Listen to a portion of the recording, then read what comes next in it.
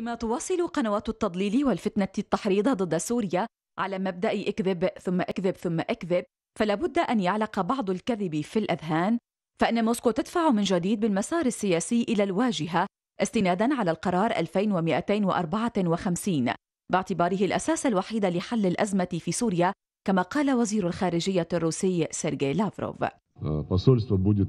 بالنسبة لموسكو توجد خطة متفق عليها منذ فترة طويلة مع واشنطن والأمم المتحدة وهي قرار مجلس الأمن رقم 2254 الذي يرسم كل جوانب عملية التسوية على أساس المبدأ الذي ينص على أن للشعب السوري فقط الحق في تقرير مستقبل بلاده. الوزير لافروف علق من سوخومي عاصمة أبخازيا على ما يسمى خطة أمريكية مزعومة لرئيس دونالد ترامب حول تسوية الأزمة في سوريا مشيرا إلى وجود قوى مستاءة تحاول خلق الذرائع بهدف تغيير الحكومة.